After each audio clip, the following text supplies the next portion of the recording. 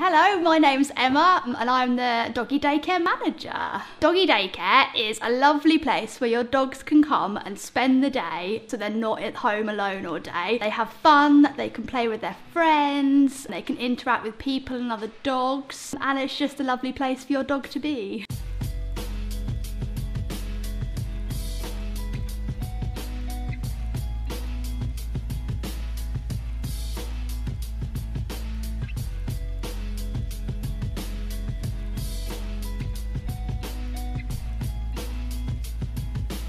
When your dog first comes in, we'll let it into daycare and it can meet all its doggy friends for the day. And then in the mornings, they get to play, they might learn some tricks, they might do some activities in the morning when they're all excited to calm them down. Then at lunchtime, we go down to the dog run, which is two acres of lovely outside space, and they just have a lot of fun running around in the fresh air. And in the afternoon, they can just relax and play again if they want to. And then, unfortunately, it's home time for the doggies after that.